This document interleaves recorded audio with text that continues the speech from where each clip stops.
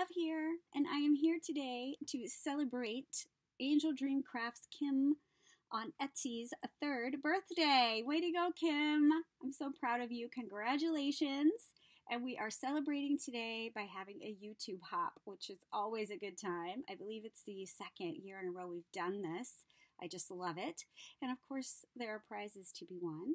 Uh, the first prize is a uh, 35 US dollar gift certificate to the shop. And of course, you can find a link to Angel Dream Crafts Kim on Etsy below in my description box.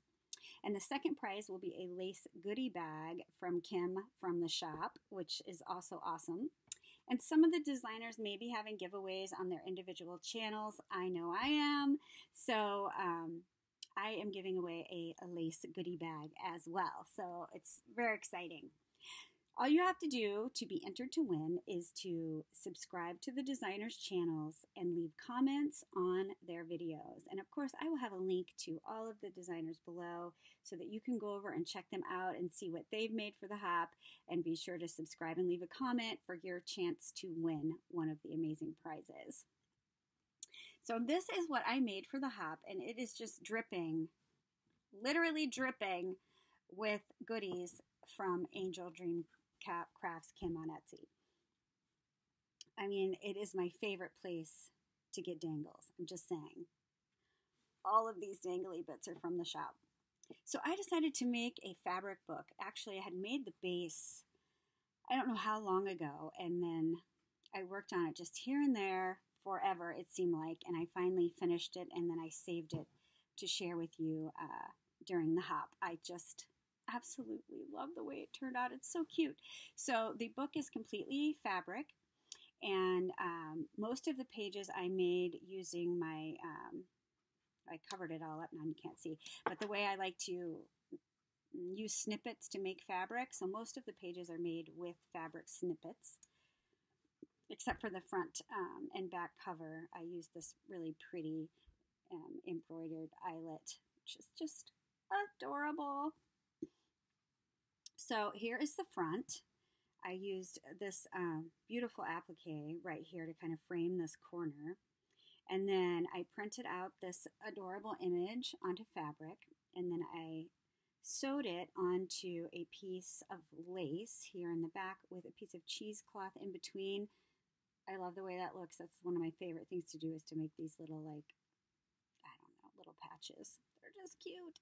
And then I used some of this trim from Angel Dream Crafts to put in the corners. I, I just cut this up into little three flower bunches and stick them everywhere. I love them, but it is sold by the yard, actually. Adore that. And then these, my favorite uh, ribbon roses. Look at how pink they are. They're so perfect. So I put those across. And she has got an amazing selection of cabochons. So, of course, I have some pink rose cabochons I added here and there. And then she does, of course, sell bulb pins in different colors. And I try to use, um, put little bulb pin charms here and there. And this beautiful, I'll try to show you them separately, but this beautiful dangle, look at this. I love it. That came from her shop.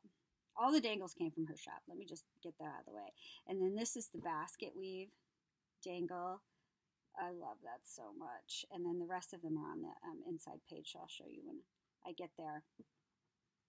I used this beautiful lace. I love the color on this. This, I'm not sure if she has this in stock. As a matter of fact, I don't think she does. But you check back often because she's always getting new stuff and then she's restocking um, things also, and I love this. So I put that right there on the corner.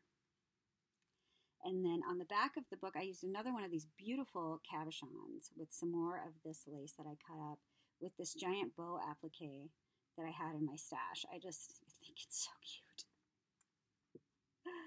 All right, so let me show you the inside. Um, on this side, I made a little pocket page and I put a doily in the background, which she does have doilies, and I, I'm not sure if she still has doily like grab bags. I don't know. You'll have to go check it out. But she does have um, some doilies in the shop. And then uh, here's the dangles. So this lace has a good like inch and a half up at the top, and then it has these hanging off the bottom, which are just beautiful. And look how long they are. And then here is some beautiful pink fringe trim. I'm not sure if she still has any pink fringe, but you should go check because she usually does have like a white and a pink. And then I think she also has a shorter white fringe too. Because, you know, I'm all about the fringe trim.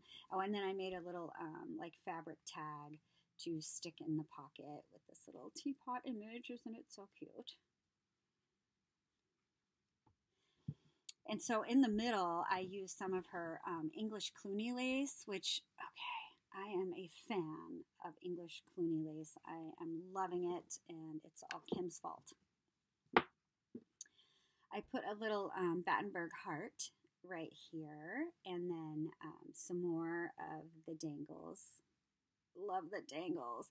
And this is, I like to call this the little sugar heart because it just looks like a little heart coated in sugar. It's so sparkly and cute. I love it. And then here's a little image I added on this page with some of my um, snippet fabric in the back. Just love it. And this beautiful lace I got from a friend of mine, and I added some pink seam binding in it, and I just think it's so cute. I absolutely. So on this page, I printed out some more um, images and text on fabric and made more of those little patches I like to make. So I've sewed them down on lace with cheesecloth in between and then added them to the page. And here is a uh, bulb pin, and this is a charm that Kim carries in her shop. Do you love that? It's a little mug with a heart in it. I love that charm so much. It's one of my favorites. One of my favorites. I put another one of her sugar hearts right here. And then on this page is the little teacups with the bird. Isn't it cute? And then more of this. You see, she sells this by the yard, but you see how much use I get out of it because I just cut it up and just add bits of it here and there. And it's just such a pretty little embellishment. I love that. And then, of course, more yumminess on the bottom and some more of her uh, ribbon roses, which she does have in other colors, but this is me and I want all the pink ones. So there is more to choose from if you're not um, pink crazy like me. And so here is a couple more of those little fabric patches I made. This one, it has the teapot. This one says friends, and I added uh, bows wherever I could.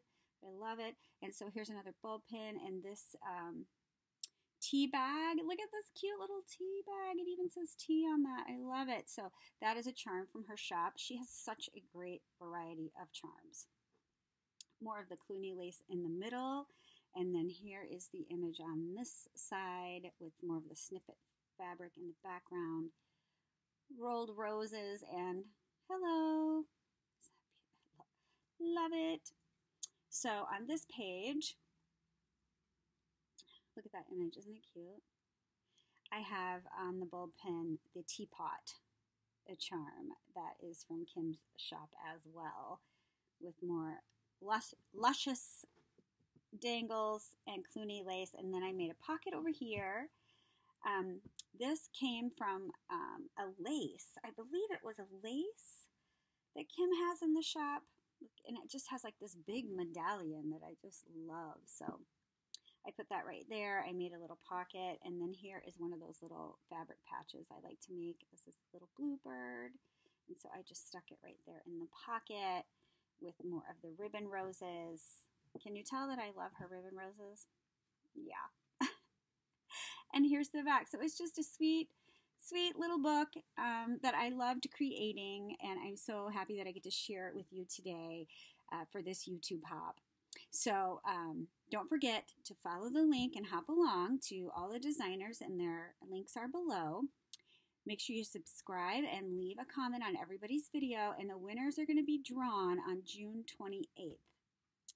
So make sure you get to subscribing and leaving comments, everyone. And please leave me a comment and let me know what you think to be entered in my specific giveaway. And I hope everyone is doing well, and thanks for stopping by, everybody. I'll see you on the next one.